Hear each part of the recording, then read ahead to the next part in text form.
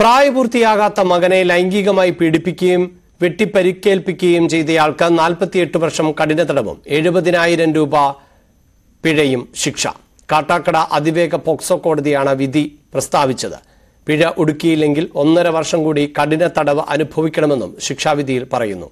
രക്ഷിക്കേണ്ടവർ ഇത്തരത്തിലുള്ള പ്രവർത്തനങ്ങൾ നടത്തുന്നത് സമൂഹത്തിന് തെറ്റായ സന്ദേശമാണ് നൽകുന്നത് എന്ന് പ്രോസിക്യൂഷൻ വാദം അംഗീകരിച്ചാണ് കോടതി വിധി.